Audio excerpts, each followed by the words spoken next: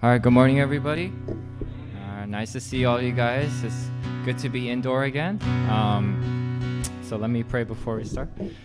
Um, Heavenly Father, Lord, we thank you so much uh, for allowing us um, uh, to worship indoors, Lord. Um, uh, we've been just patiently um, taking it uh, week by week, but finally, um, uh, thank you for helping us transition safely, Lord, to indoors. Um, continue just uh, to be with our church, uh, be uh, help us be safe um, among our coworkers, Lord. Um, also, thank you for uh, the passage um, that we're studying, Lord. Help us, no matter how uh, how much wisdom that we have, um, we have to be obedient to you, Lord. And um, uh, yes, thank you for this praise and worship to you, Lord. Help Shepherd William really deliver the message powerfully, Lord. We thank you, Lord. In Jesus' name I pray. Amen. can we all stand, please? So we're still getting accustomed to like the whole sounding system because we're so used to doing the outdoors. So just uh, bear with us. Through you, I can do anything. I can do all things because it's you who gives me strength. Nothing is impossible through you. Blind eyes are open, strongholds are broken. I am living my faith. Nothing is impossible.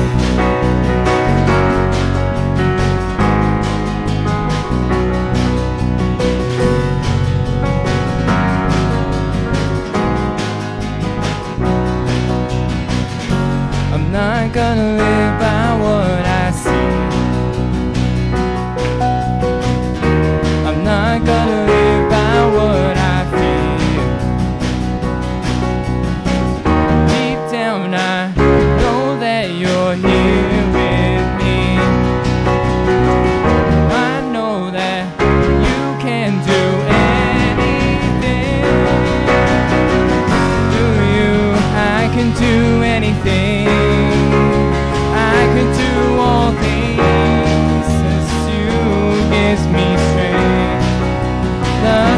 impossible through you. Blind eyes are open,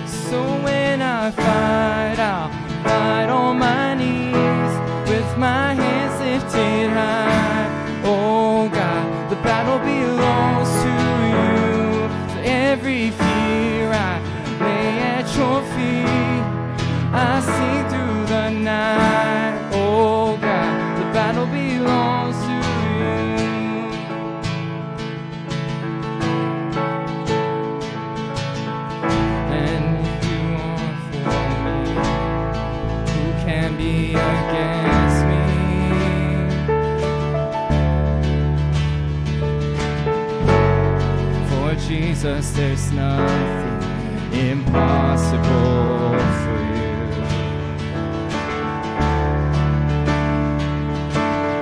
When all I see are the ashes, you see the beauty.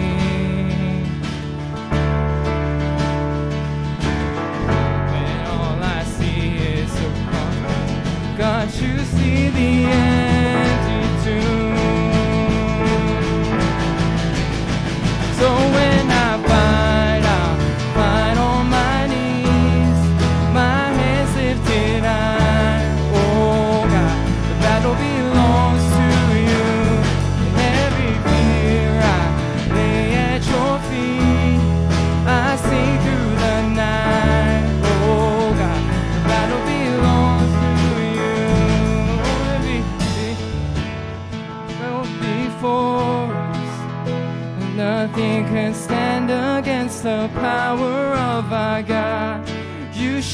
in the shadows, you win every battle. Nothing can stand against the power of our God. Almighty fortress, you go before us. Nothing can stand against the power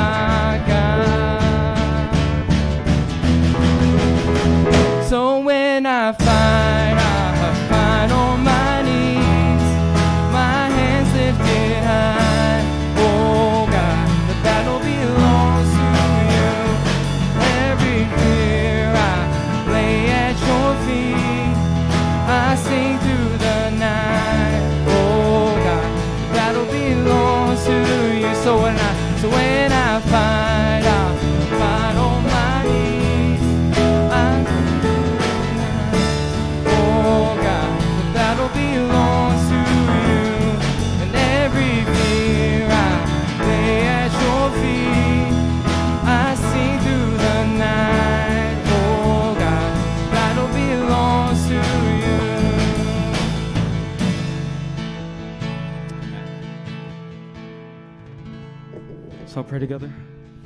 Uh, dear Father in heaven, uh, Father, thank you for uh, Jesus uh, who died for our sins. Father, thank you that uh, we could uh, have salvation through Jesus' blood and resurrection. Father, thank you that we can gather here together today to listen to your words and to worship you. I pray that um, these songs may be pleasing to you. I pray that our worship may be pleasing to you.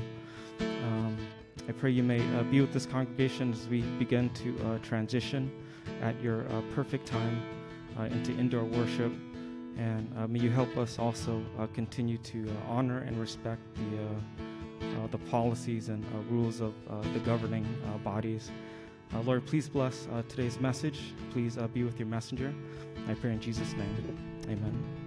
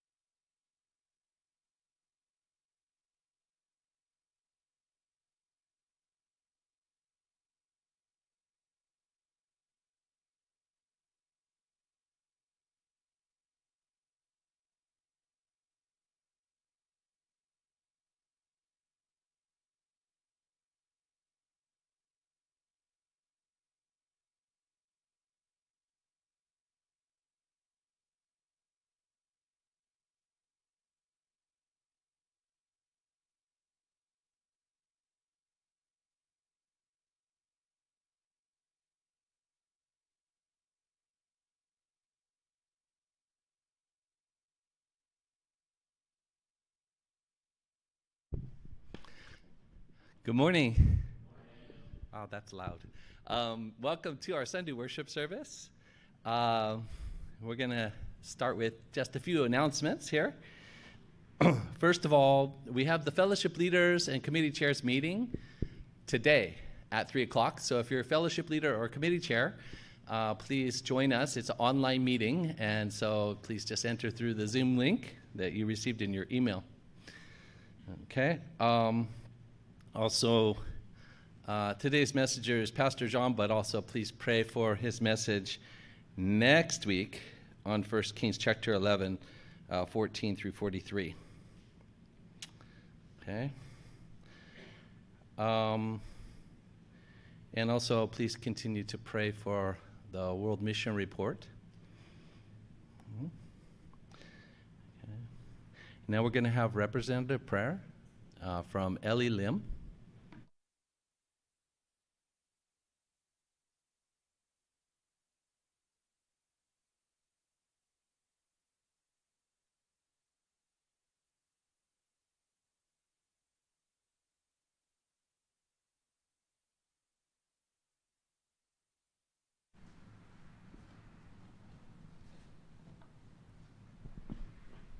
Okay, please join me in prayer. Dear Heavenly Father, thank you for the great love you have shown us through Jesus' death and resurrection. Thank you for your mercy and sin forgiveness and hearing our prayers in heaven. We pray that you will continue to bless us today during worship service together as one body of Christ. Last week, we learned the import- importance of remembering the cause of all God's blessing at the peak of prosperity as God richly blessed King Solomon. Please help us never lose our focus on keeping your commands so that all nations may know who you are. Help, help us to be the people of God who choose to keep building one another for your eternal purpose. Help us to have deep faith and be obedient to the, wor- uh, to the word of God because that is how we should show our love for you. This time we want to pray for our nation. We pray that we may um, that you may heal this country by bringing back people to the biblical truth, so that there will be a spiritual revival. As we face these uncertain times in our nation, we ask you to dwell among us. Send your Holy Spirit to touch the hearts of our nation's leaders. Give them wisdom and courage to do what's right according to your guidance. Please guide us to help Please guide us and help us to seek your will so that we may impact the world and build your kingdom. We are happy to see improvements on number of COVID cases in US and may you have mercy on India. We pray that you ha- uh, we pray that pandemic may be controlled and people may turn to you in a time of uncertainty. We pray for your blessing for 2021 Missionaries and Leaders Conference and World, World Mission Report that will be held on May 28th through 30th. Please guide us to renew our spirit and have faith for the World Mission, uh, for the World Campus Mission. Bless Pastor Moses Yoon's main message based on Acts 28 and Shepherd William Larson's message based on Philippians 3 for the conference. Thank you for helping each and every family to have family worship service. May you, may our youth members in the ministry grow to become committed disciples by being obedient and faithful through the powerful and through the powerful and life-changing gospel message. Lastly, we want to pray for Shepherd William Larson's message today to be filled with the Holy Spirit. Accept our worship service so that your glory may be revealed and your name may be highly honored. In Jesus' name we pray. Amen.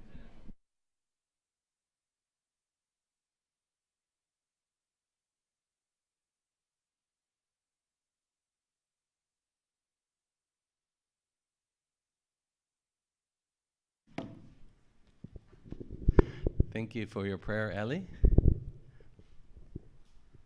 And now we're going to have Bible reading from 1 Kings chapter 11, verses 1 through 13.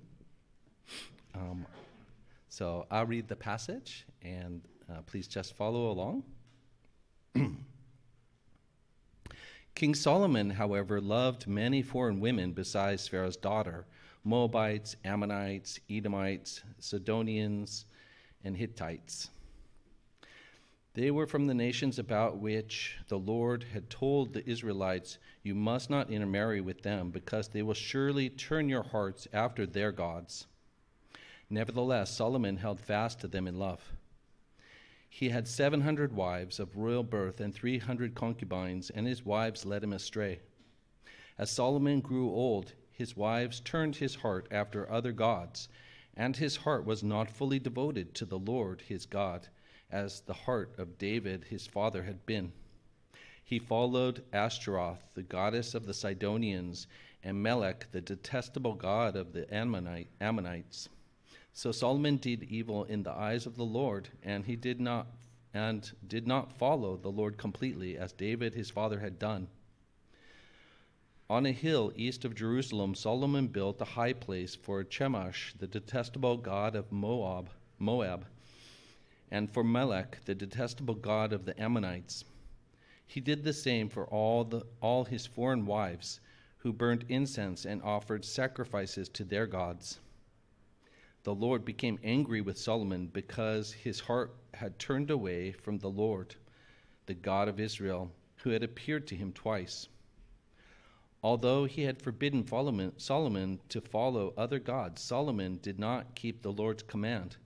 So the Lord said to Solomon, since this is since this is your attitude, and you have not kept my covenant and my decrees, which I commanded you, I will most certainly tear the kingdom away from you and give it to one of your subordinates. Nevertheless, for the sake of David your father, I will not do it during your lifetime. I will tear it out of the hand of your son. Yet I will not tear the whole kingdom from him, but will give him one tribe for the sake of David my servant, and for the sake of Jerusalem, which I have chosen. And now have the message from William Larson. I'm sorry, earlier I said that Pastor John was the message today. It's actually William Larson. my mistake. So we'll have the message now from William Larson.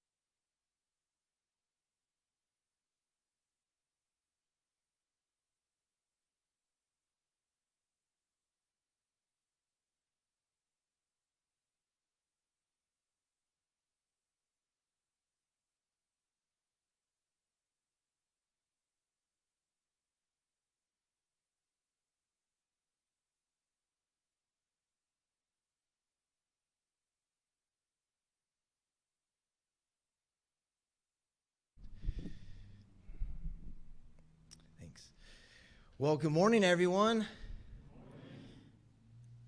Praise God. We are inside our church today worshiping God. I don't I don't know much about uh, uh, viruses or CDC or uh, about any any details. I don't know much, but I know that Jesus reigns and that He's brought us to a wonderful day of celebration. I don't know how this happened, I guess the, the Lord sent rain and then we had to come and worship today. But this is a new day. Amen. Yeah, it's a, let's rejoice in the Lord uh, because of such a great blessing that we can finally be inside and worship God together. Uh, who knows what the future will be, but today we are worshiping Jesus together in our church. So praise God. The title of our message today is Fully devoted to the Lord. It comes from uh, 1 Kings chapter um, 11, verses 1 to 13, our key verses, verse 4. This is, a, this is a sad chapter, but I think today's day of rejoicing offsets the, uh, the uh, heaviness of the passage, so that's good. So let's read this joyfully. Uh, actually, I guess I'll read it for us. As Solomon grew old, his wives turned his heart after other gods, and his heart was not fully devoted to the Lord his God as the heart of David his father had been. Um, today's passage, in many ways, is a post mortem. I don't know if you've heard of this. It's kind of like an autopsy. It's uh, a post mortem is an examination of a dead body to determine the cause of death. In a lot of ways, today's passage in the chapter that we're starting to this uh, this uh, morning is the conclusion of Solomon's life, and it is not a very great conclusion. Um, so let's look at this passage because really the way that it lays out um, lays itself out, it really does a important job of analyzing and examining what went wrong with Solomon. Five times we're going to see the word heart repeated. So, with this in mind, uh, let's pray together. Father in heaven, thank you so much for Jesus.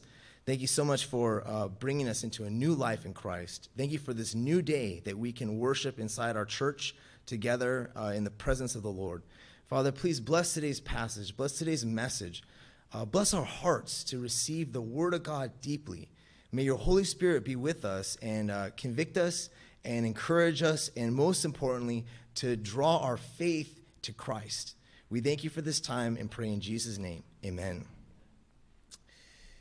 1 Samuel chapter 16 makes an interesting point about heart. It says, People look at, that, at the outward appearance, but the Lord looks at the heart. This is one of the, you know, among hundreds and hundreds of really important Bible verses. Uh, of course, the whole Bible is important, but this one really stands out because it helps us to know what God really cares about. God really cares about our heart. In today's passage, as I said, the, the word heart is mentioned five times, and in a lot of ways, the, the post mortem of Solomon is a post mortem of his heart. What happened to Solomon's heart? So let's look at uh, verses 1 to 2 with this in mind and consider what God is trying to say about Solomon, his heart, and about us and our hearts. I'll read verses 1 and 2 for us. King Solomon, however, loved many foreign women besides Pharaoh's daughter Moabites, Ammonites, Edomites, Sidonians, and Hittites. They were from nations about which the Lord had told the Israelites, You must not intermarry with them, because they will surely turn your hearts after their gods. Nevertheless, Solomon held fast to them in love. In these verses, we see the word heart show up for the first time. They will surely turn your hearts after their gods. We also see that Solomon loved many foreign wives, and he held fast to them in love. Love is an exclusive quality of uh, your heart. The heart is really good at loving things. It really knows how to focus and hold fast to things that it loves. Now, in Solomon's heart, there was a love for foreign women. A very uh, interesting love, but it was not necessarily based on the fact that these were exotic women who were necessarily beautiful. I'm sure that they, they were uh, probably beautiful because many of them were princesses. But what's interesting is that today's passage mentions the first foreign woman that, that um, Solomon married Pharaoh's daughter. Uh, I thank uh, God for uh, the wisdom that missionary Paul Lim had because, you know, when we look back at the original reason why Solomon married the first foreign woman, Pharaoh's daughter, we see what it was really about. So, looking at looking back at 1 Kings chapter 3 verse 1, it says Solomon made an alliance with Pharaoh, king of Egypt, and married his daughter. It wasn't necessarily because the uh, Pharaoh's daughter was beautiful or because she was exotic and spoke, spoke different languages. It was because of an alliance with Pharaoh, king of Egypt. Solomon was just recently crowned king, and he began to rule and to reign through making alliances with foreign um, empires. The first one, as we know, was Pharaoh, king of Egypt, here in chapter 3, verse 1.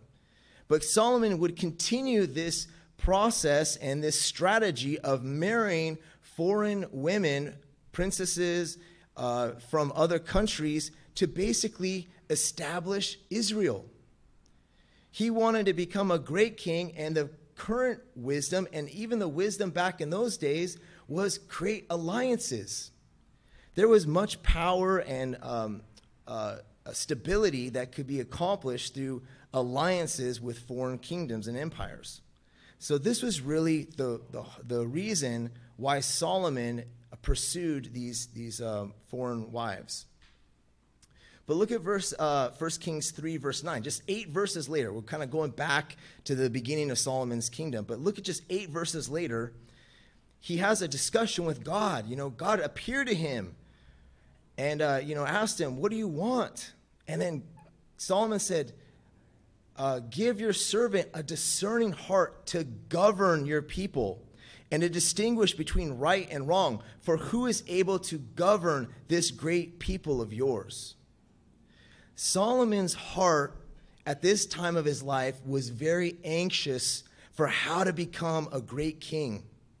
He wanted to really be the best king that he could be. And so when God offered him a chance to ask for anything, he asked for the wisdom to govern the, the great people of God. Now, looking back at verses 1 to 2, and we see that uh, let me read, the, read this again. King Solomon, however, loved many foreign women besides Pharaoh's daughters, Pharaoh's daughter, Moabites, Ammonites, Edomites, Sidonians, and Hittites. We have to ask ourselves the question what was Solomon's heart's desire? I put forward a, a hypothesis, uh, but I think it's, it's based on, on the entire passages we've been seeing that Solomon's heart's desire was to be a great king. He, in the previous passage that Pastor John gave, we saw how Solomon amassed tons and tons and tons of gold. He had all these uh, horses and a strong defense, and he even became a you know arms dealer, right, to other countries. He basically wanted to be the best king with the best empire of his era. He worked so hard to build the most beautiful palace. Even it said about his throne room, nobody else had a, a throne room like Solomon. You know, 12 lions, uh, you know, uh, crazy, amazing throne. He was really passionate in his heart to be a great, great king. Now, going back to these verses here, his pursuit of this desire started with marrying Pharaoh's daughter. And it had picked up steam, and he had continued to do all kinds of different uh, approaches to become a great king. And of course, one of the one, ones that he kept on doing for a long time was continuing to marry foreign women to establish alliances. But look at verse 2. They were from nations about which the Lord had told the Israelites, You must not intermarry with them, because they will surely turn your hearts after their gods. Interesting point. Solomon wanted to be a great king. He had a strategy of building alliances through marriage. But that strategy ran into direct conflict with God's living word. God said, You must not intermarry with them because they will surely turn your hearts after their gods. Solomon, in pursuit of his desire, had found a method that he found very uh, useful and powerful. But God's word spoke against that method and that, that strategy completely. But look at this last sentence. So, so there was this conflict in Solomon. The Word of God says no. His, his strategy said yes. Something has to break. what happened? Nevertheless, Solomon held fast to them in love. God's word in Solomon's heart was not able to defeat Solomon's dedication to becoming a great king through worldly alliances. And it's not because God's word is weak, but because Solomon did not value God's word above his own ideas about how to live his life. So Solomon held fast to his own ways at the expense of ignoring God's living word. Hebrews chapter 4, verse 12 says, For the word of God is alive and active, it judges the thoughts and attitudes of the heart. God's living word could have saved Solomon by if he would have only let God's word judge his thoughts about worldly alliances and judge his attitude about how he was pursuing his desire to become a great king. But as we know throughout life of Solomon, he's not known to be a man who loved God's word. In fact, in the two times that God directly appeared to him, what was God's, you know, direction to him? You know, in summary, it was read the Bible. It was live according to the word of God, my commands, decrees, and laws. God's command to Solomon was let the word of God dwell in you richly and let it convict you so that you do not do what's evil before me. But as once again, as the end verse here says in verse 2, nevertheless, Solomon held fast to them in love. He let his heart love these women because these women helped him to accomplish his desire to become a great king. Look at verse 3. He had 700 wives of royal birth and 300 concubines, and his wives led him astray. Inside all of us is a desire. It's so important to know what our desire is.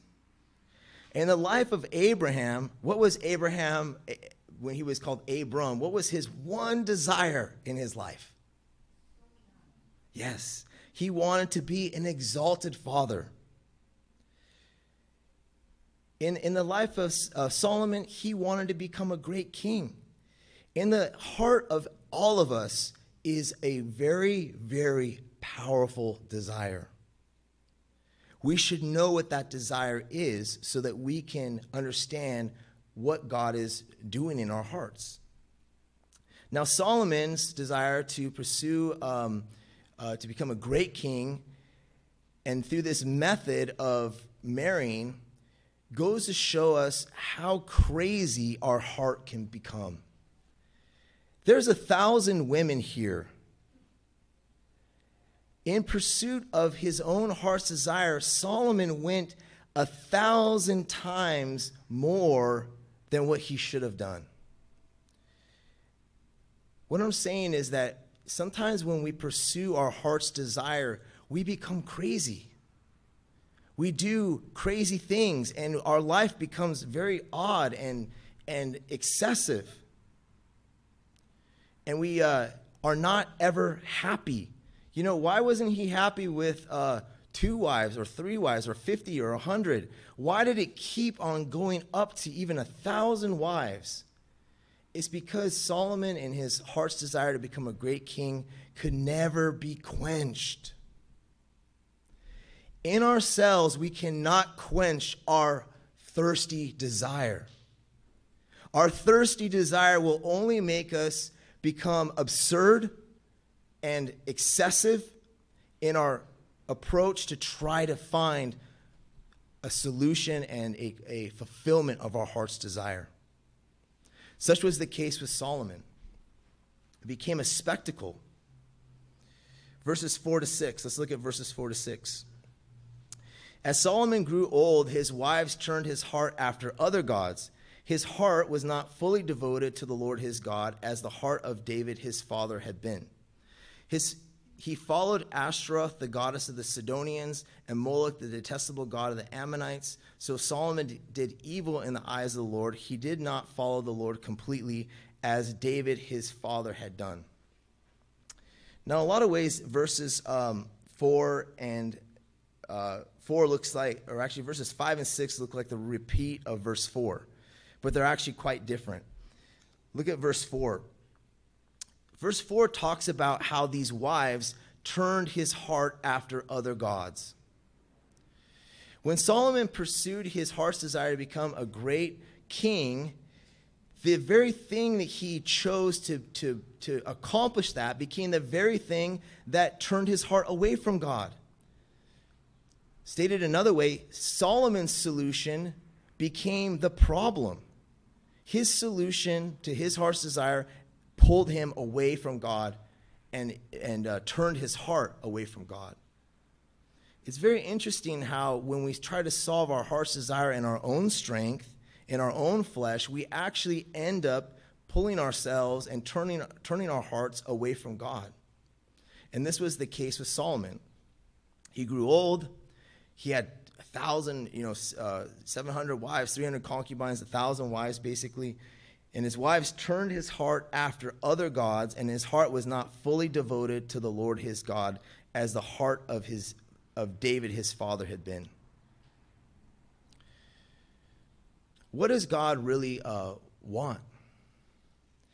We know that God has loved us by giving us his one and only Son. We know that Jesus laid down his life for us. There's no doubt that God has been fully devoted to us. If there's any question about that, we really should uh, read the Bible more carefully because the evidence is, is beyond, uh, beyond doubt in any love relationship, you can't have one party do all the loving and then the other party just love themselves or love something else. In order for a love relationship, there has to be complete devotion on both sides. What did God want from Solomon? What does God want from us?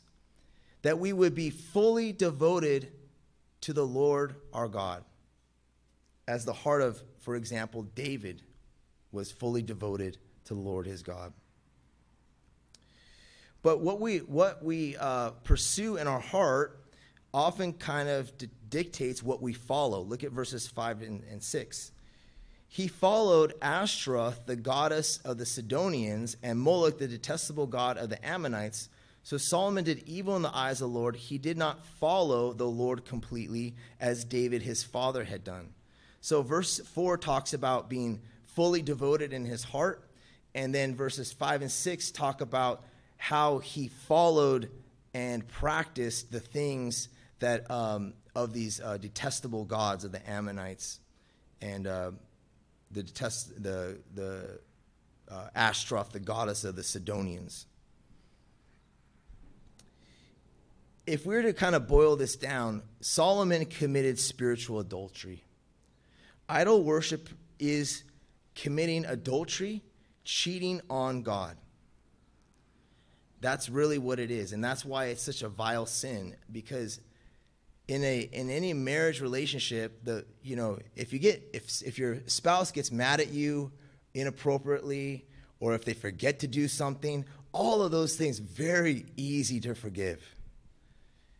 Even, you know, walking out of the room or even slamming a door, you know, those are obviously bad, but but nothing compares to adultery. Adultery is the wrecking of a uh, relationship in a marriage, and, in, and spiritually speaking, idolatry is the destruction of the relationship with God. It is cheating on God, and it is, and it is um, and it is very painful to do such a thing to God. And God in his in his love is very patient because we're so sinful and blind, but at the same time there is accountability for this kind of action. And it began with a heart that was turned away, and then it was concluded by following the practices and the um, the gods, the detestable gods the Amorites and the Sidonians. Verse 6 says So Solomon did evil in the eyes of the Lord. In the relationship with God, we should be very um, conscientious about how does God view me? What does he think about this situation? What does he think about my actions? King David, you know, I never, I never really thought, like, I knew he was great because the Bible says so, but I never really understood his greatness. One of the things that spoke to me, David asked God to show him any impure way in his heart. That's like another level. He wanted to flush his heart of anything that God would think of as being evil or undesirable. You know, he didn't wait for to make a mistake. He asked God to search him out and find if there's any wicked ways in me, and then if so, like to help to give him a pure heart. You know, David was so great because he really wanted to never let his heart despise or do evil in the eyes of the Lord. So, of course, David, um, you know, Solomon was the third king. You know, Saul was first, then David, and then and then Solomon. In a lot of ways, David is going to become the um, the the template that every single other king that we study in First Kings is going to be held against, because David really showed that you can be king and love God wholeheartedly with uh, being fully devoted and do and do a great job. So let's look at verses 7 to 8 though. On a hill east of Jerusalem, Solomon built a high place for Chemosh, the detestable god of Moab, and for Molech, the detestable god of the Ammonites. He did the same for all his foreign wives who burned incense and offered sacrifices to their God. Things only go from, uh, they get really ugly really fast. This is probably one of the worst um, descriptions of what he did. You know, Solomon built a fabulous temple from the inspiration of the Holy Spirit. But later on in his life, what did he build? He built a high place for Chemoth, the detestable god of Moab, and Moloch, the detestable god of the Ammonites. Now, this passage doesn't say ex- explicitly, but anybody who reads the Bible, you know, especially some some passage in New Testament, will know that these are not just made up gods that people like the Moabites worship. This is inspiration from demons. These are demonic entities um, that were represented in Molech and Chemoth and, and um, Ashtaroth, but they're very demonic things. I don't think it's too far to say that Solomon, in doing this, was worshiping Satan. He had built high places for demons. That is very scary and very heavy. That when our heart's desire is acted out upon without the Word of God putting in check, we end up becoming, we become, we, we're, far, we're far outside Jerusalem. We're, out, we're in the, a hill east of Jerusalem, outside the presence of God.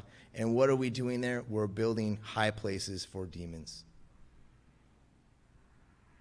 This is why we need God's word.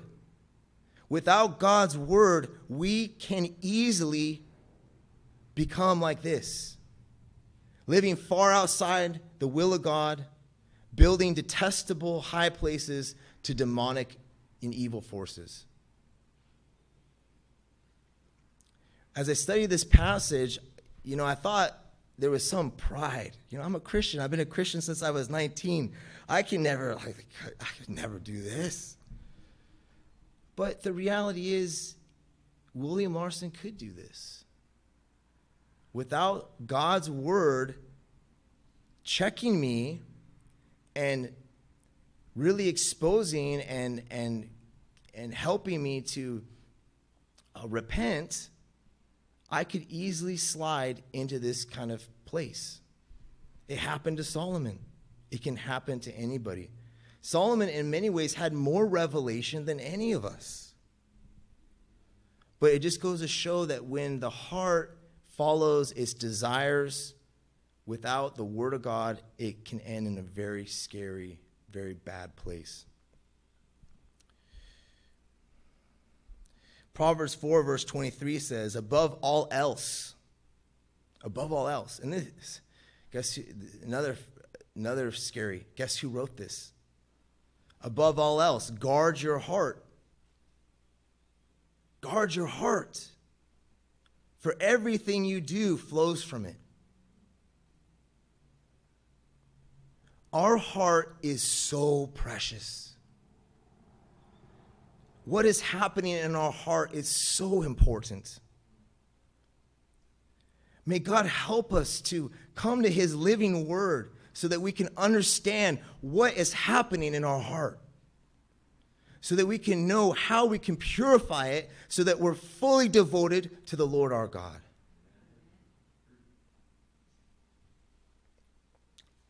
Let's look at verses 9 through 11. The Lord became angry with Solomon because his heart had turned away from the Lord, the God of Israel, who had appeared to him twice. Although he had forbidden Solomon to follow other gods, Solomon did not keep the Lord's command. So the Lord said to Solomon, Since this is your attitude, you know, it, it was the attitude of his heart. Since this is your attitude, and you have not kept my covenant and my decrees which I commanded you, I will most certainly tear the kingdom away from you and give it to one of your subordinates.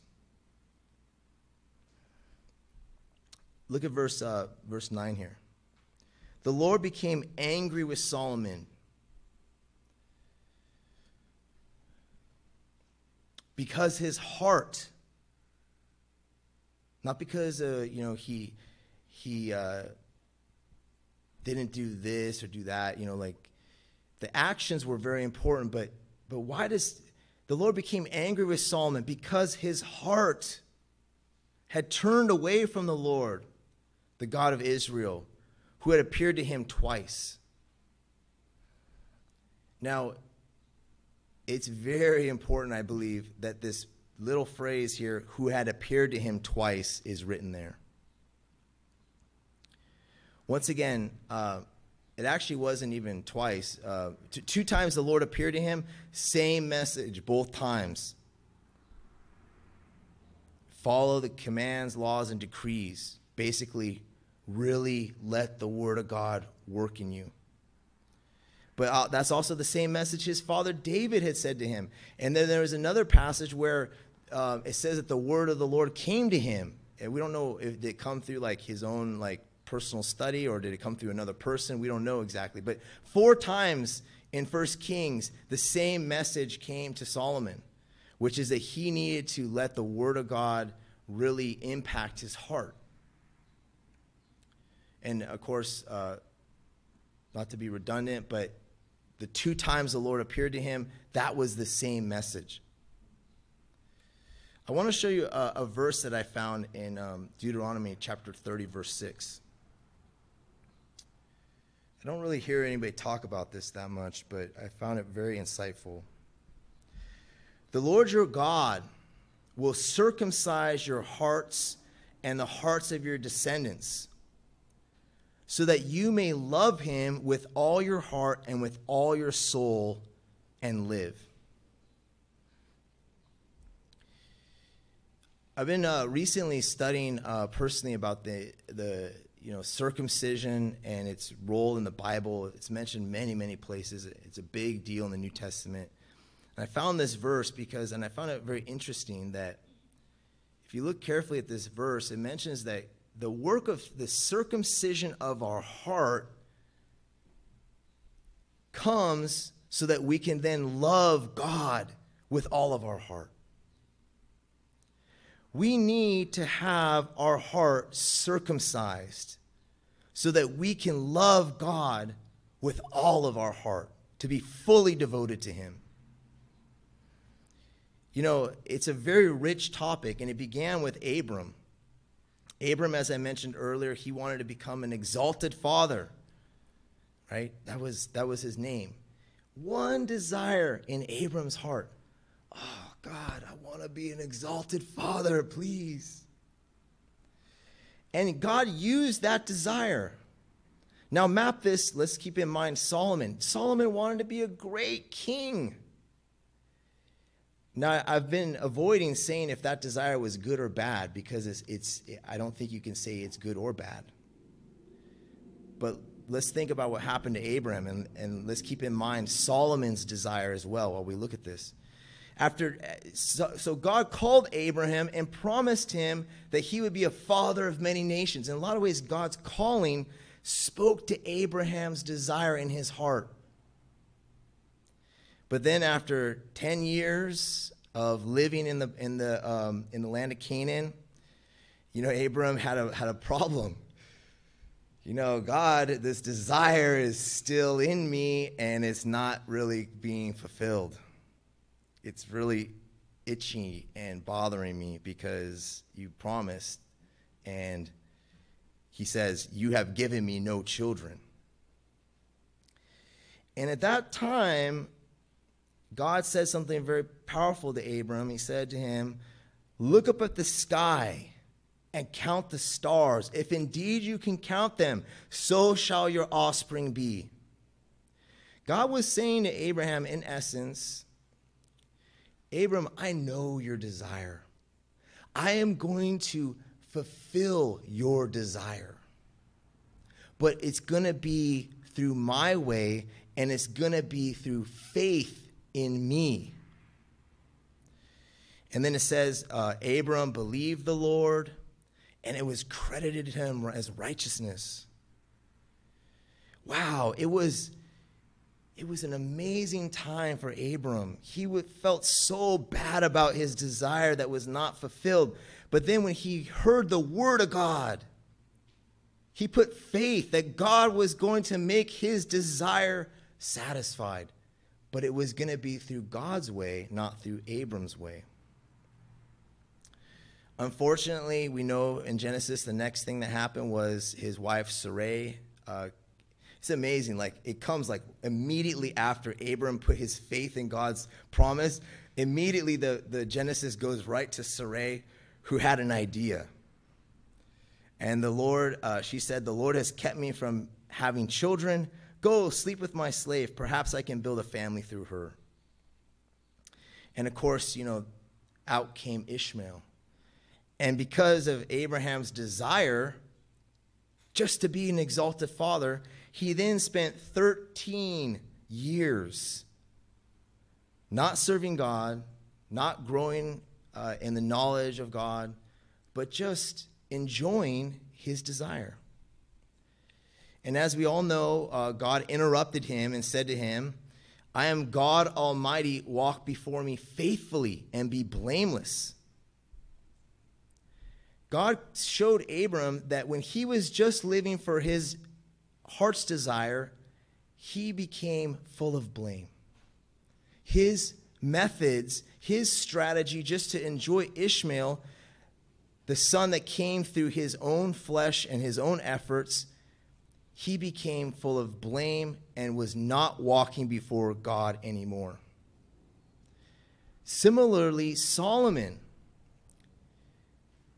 when he pursued being a great king through his own strategies of alliances with, with foreign, um, foreign countries through marriage, when he pursued it through arms dealing and, and um, building up a military, when he pursued it by amassing gold these were the things that were, he ended up walking not before God anymore, but he ended up being full of blame and even making God angry with him.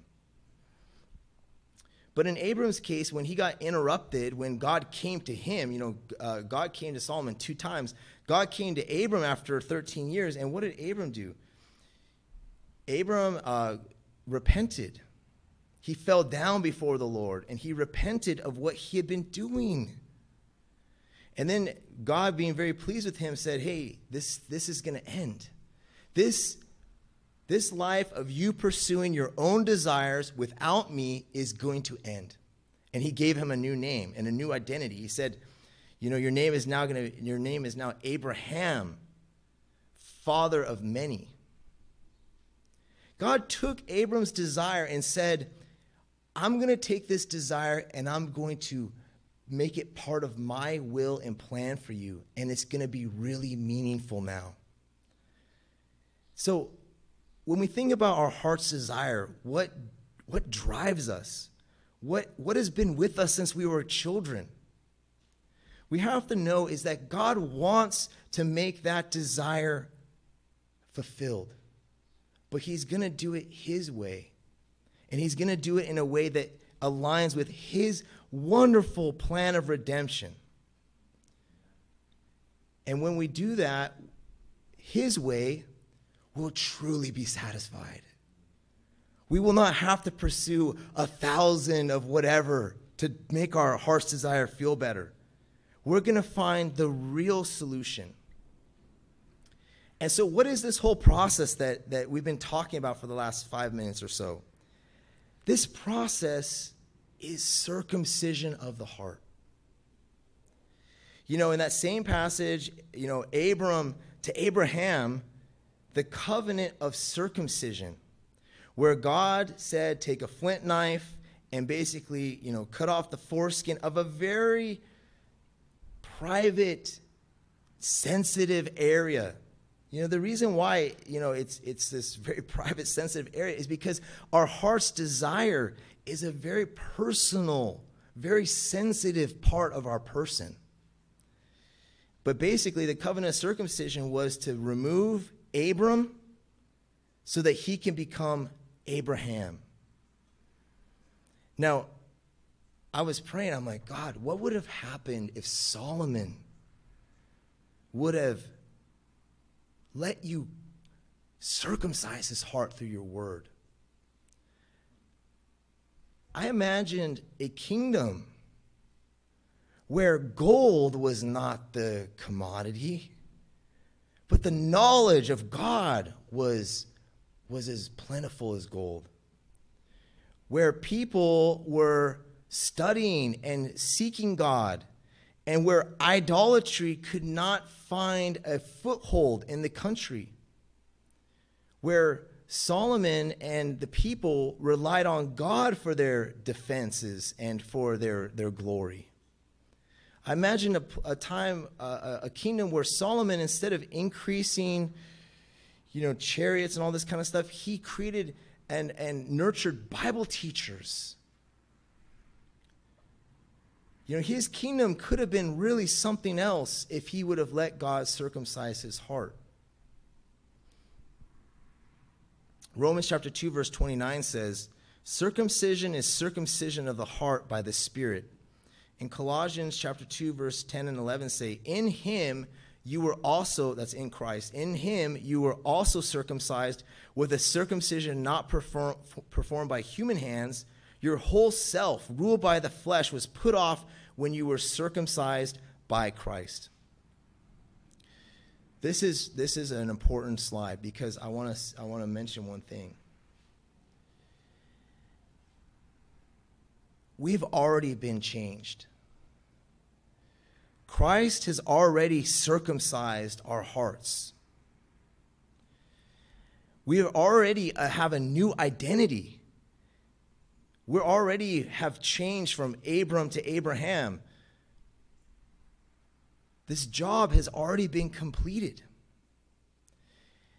The only thing is that we need to put our faith in Christ who has done this in us already.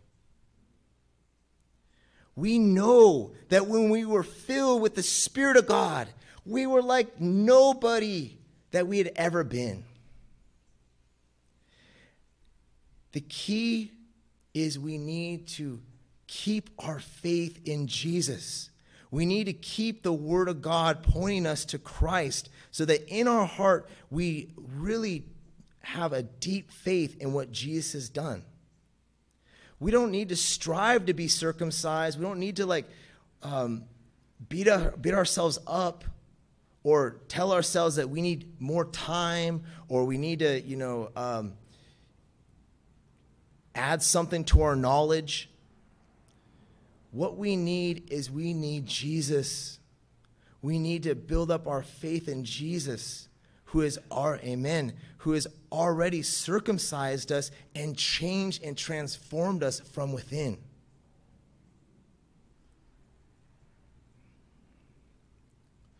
Look at verses 9 through 11 again. Let's look at actually verse 11. So the Lord said to Solomon, Since this is your attitude, and you've not kept my covenant and my decrees, which I commanded you, I will most certainly tear the kingdom away from you and give it to one of your subordinates.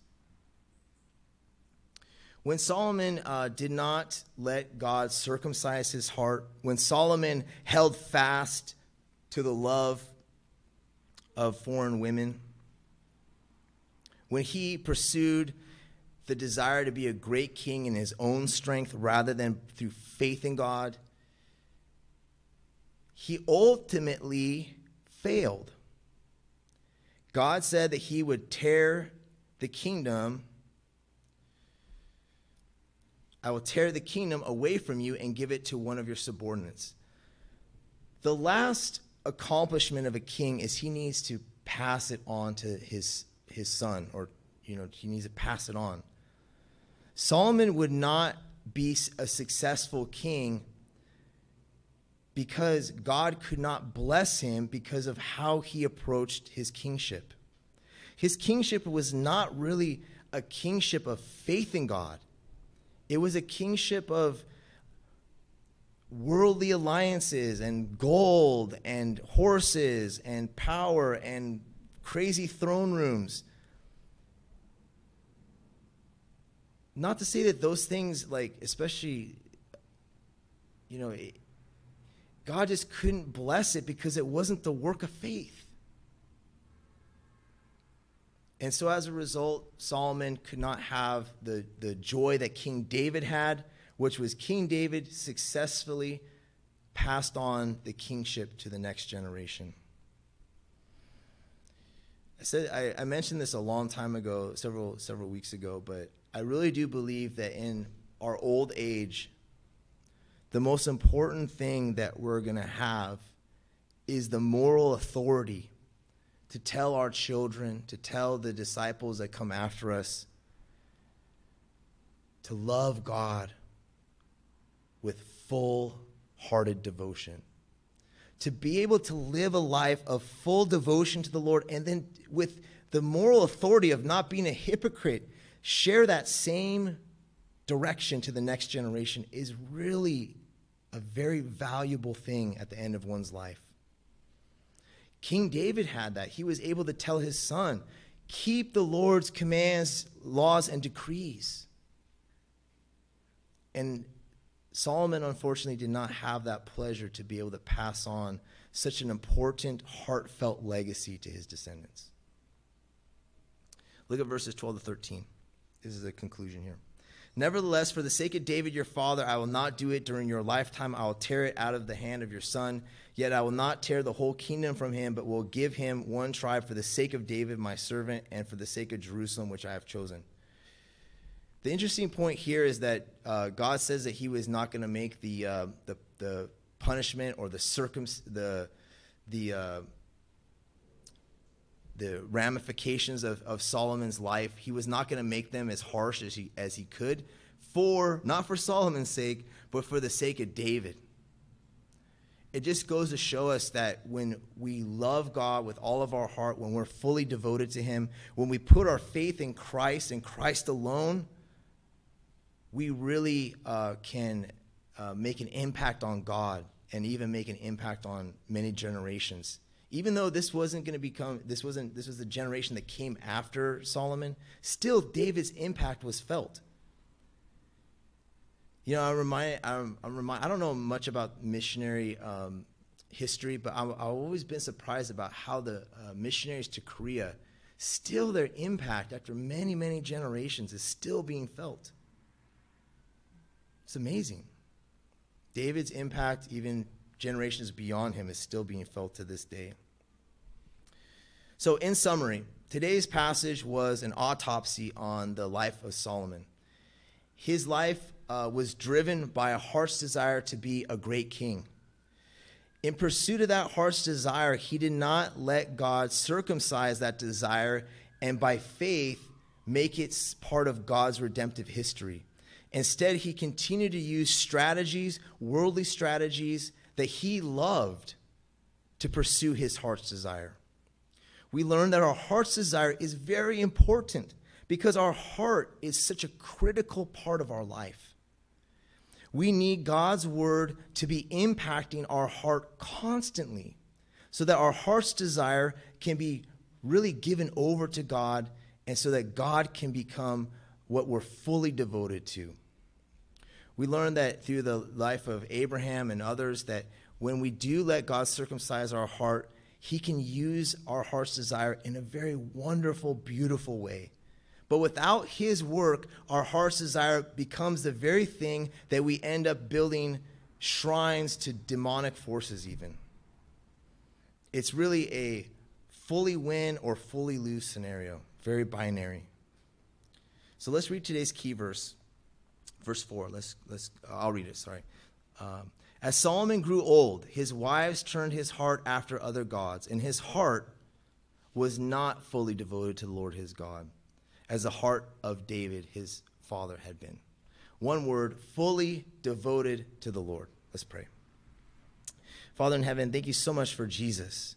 Thank you that we have a heart, that we have a heart's desire, and that you really want us to have a love relationship with you. Father, I pray uh, so much for, uh, for us that we can um, really uh, manage our heart very carefully. May your word uh, convict us and um, judge the thoughts and attitudes of our heart. May you um, help us that we would want to have a pure heart before you. Um, I know we do, but help us to be more mindful of this so that we can never let uh, sinful uh, and uh, our own flesh to determine uh, how we act, but may we act according to your word and according to your will. Um, thank you so much for the life of Solomon, Lord. It's it's very beautiful, but at the same time very painful. Uh, I pray that as as the reason um, that we would take heed and take warning, and may we really uh, be have hearts that are fully devoted to you. In Jesus' name, we pray. Amen.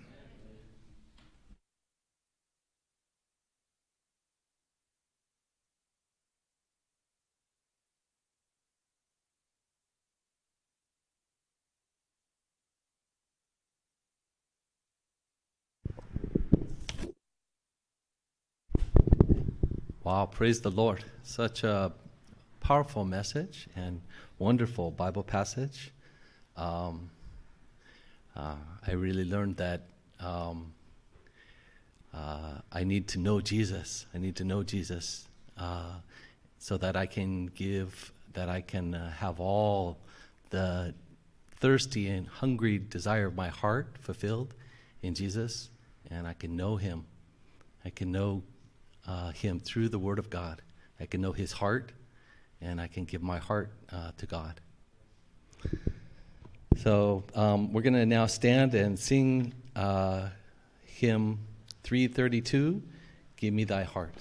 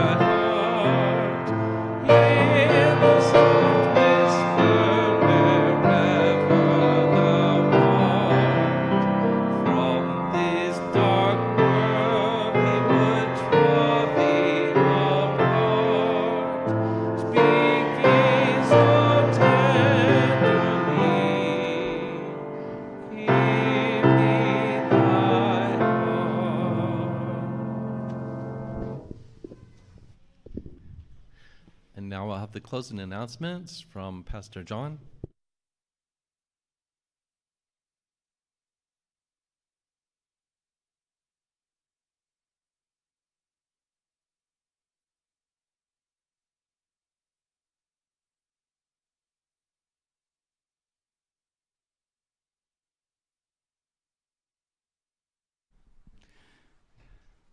Good morning. It's a wonderful message.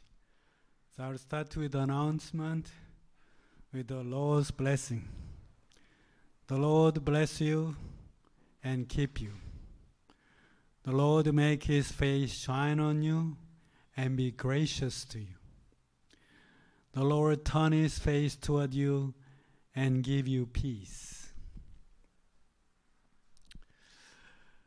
So Solomon became idol worshiper when he did not obey the commands of the Lord his God. To disobey the commands of God means he did not believe the Lord anymore. When he loved the wives more than the Lord, his heart became corrupted. It was not the place of God's presence anymore. It becomes demons' playground. The demons are behind all the idol worshipping. How can he overcome Solomon's mistakes? Believe in the Lord Jesus, who has all authority in heaven and earth. His power and authority is infinitely greater than all other powers, including the power of sin and death in our sinful nature.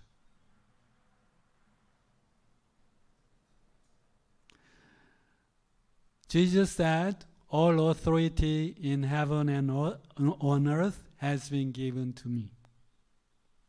And he gave his authority to his people, you and me. And his authority and power is infinitely greater than the power of our sinful desires in our hearts. So we can kill them and conquer our sinful desires with the authority and power of the Lord Jesus Christ. Then we don't become like Solomon. Our hearts can be a place of the Lord's presence and expanding his kingdom instead of demons' playground.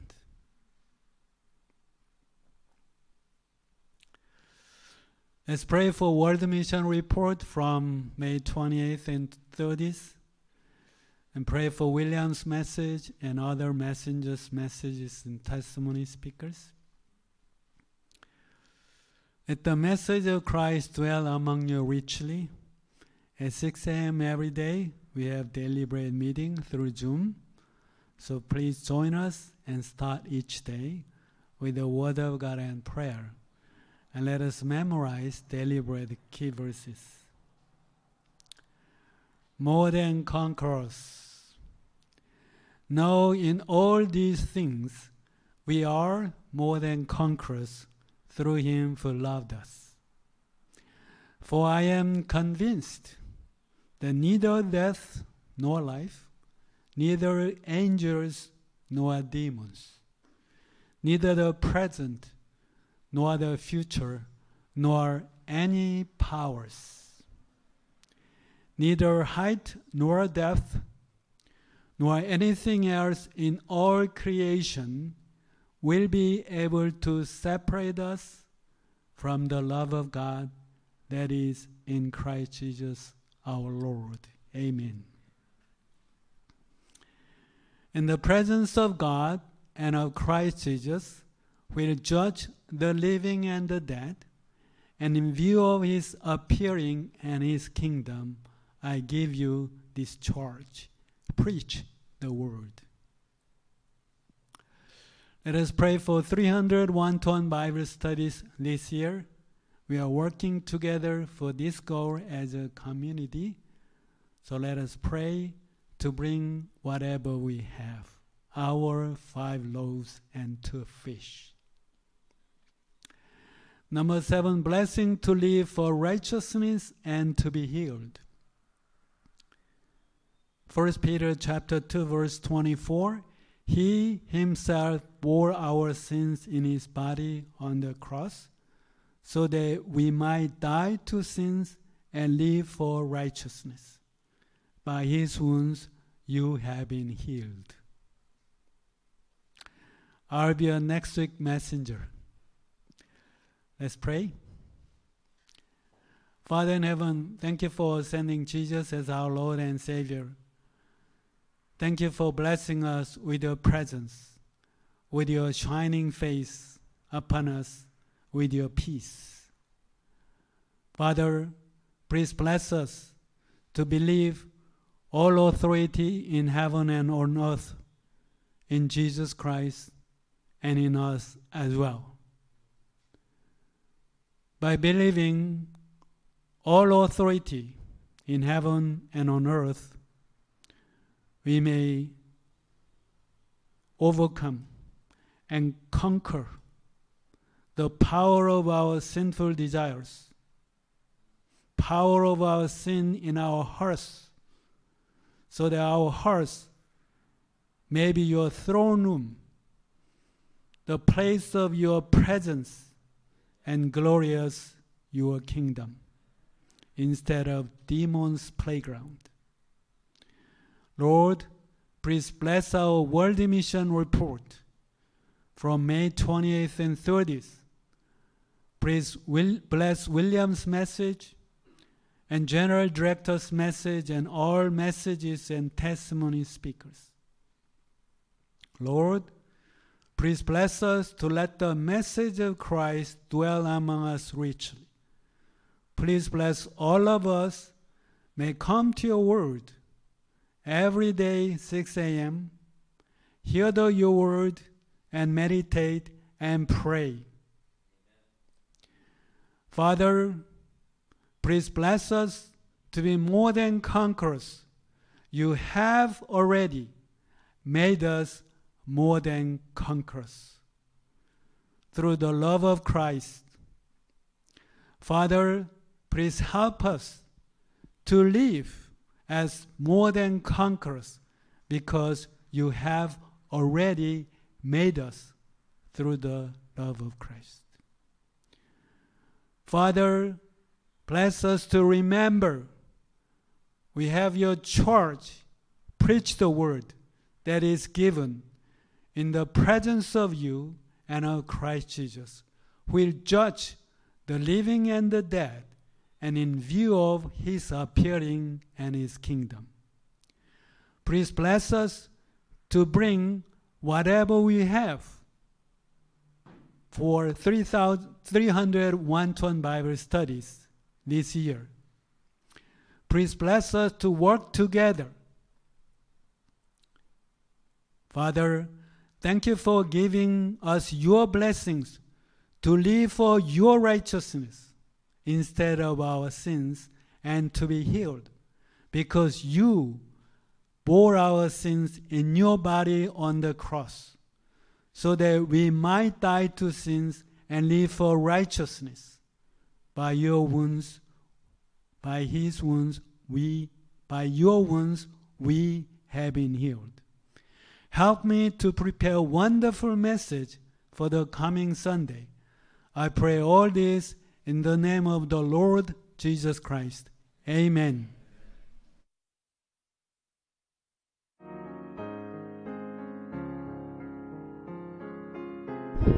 So that will complete our worship service for today. Uh, thank you so much, everyone, uh, and we'll see you next week.